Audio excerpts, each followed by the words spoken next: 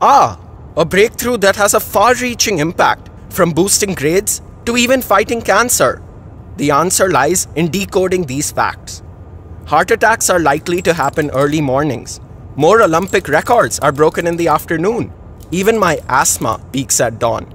Are we just puppets in the unseen hand of time? Welcome to the magic of circadian rhythm, our body clocks. They regulate all functions like alertness, strength, cell repair, and dictate the best time for any activity. Our chronotype controls our sleep wake time. For example, larks wake up and sleep early, and owls wake up and sleep late. Most teenagers are owls, but school timings match larks. Hence, starting school an hour later has shown to improve grades. The master clock is a cluster of cells called the suprachiasmatic nucleus or SCN. It gets reset by light.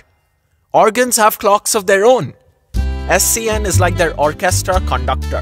When they play in sync, it's perfect symphony. But each time we have a late night meal, unexpected food messes up the liver's rhythm. Too much gadget light or too less daylight. Cacophony reigns. And with jet lag, say hello to absolute mayhem.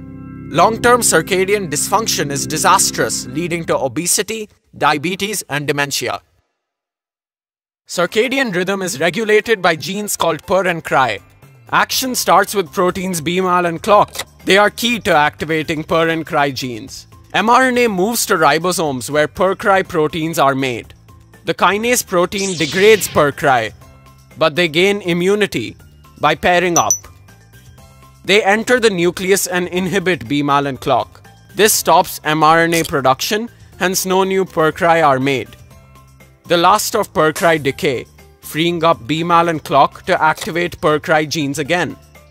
This negative feedback loop of PER and cry activation and inhibition powers the 24-hour clock.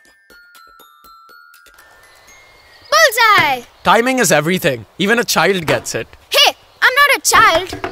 Diseases also have their own circadian cycles. My grandma's arthritis flares up in the evening.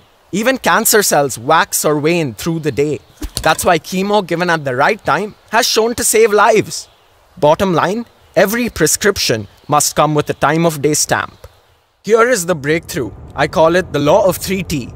Know your chronotype, lark, owl, and so on. Identify the kind of task, analytical, creative, and so forth, and match with time. There you go, peak performance guaranteed. Thank you for watching. My name is Samay, and in Sanskrit, it means time.